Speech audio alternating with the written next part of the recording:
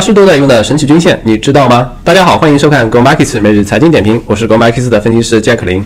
如果市场再给我一次机会，我一定要加上一根均线，它不是传统的两百均线，也不是少数派维加斯的幺四四的均线，而是价格行为学大师 AI Brooks 也在用的二十一均线。价格行为学一般可以理解为是用裸 K 交易，是不用任何指标的，但是 AI Brooks 的图表上永远是放着二十一均线的，可见其重要性。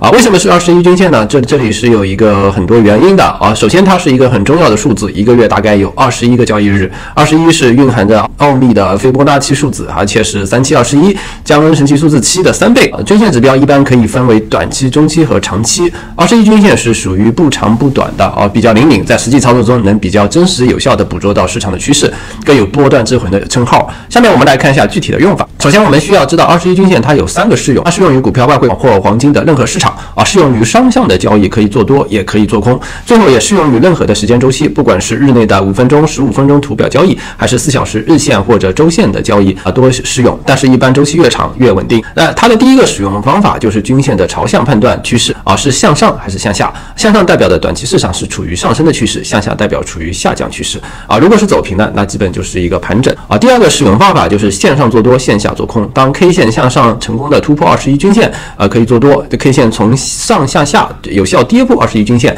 啊，就做空啊。为了提高成功率，这个的时候可以结合呃均线朝向是比较好的，比如 K 线向上传，然后二十一均线也是向上的啊，那个时候做多是 OK 的。那如果是 K 线向上，但是均线向下的啊，一般做是不可取的。如果喜欢双均线系统的朋友，还可以添加参数为五的均线搭配使用啊，这里具体就不展开了。第三个使用方法就是支撑压力的定位啊，均线一般能起到支撑压力的作用。当价格偏离二十一均线一段时间后，一般会回踩，再碰触到均线附近就是入场或加仓的时机。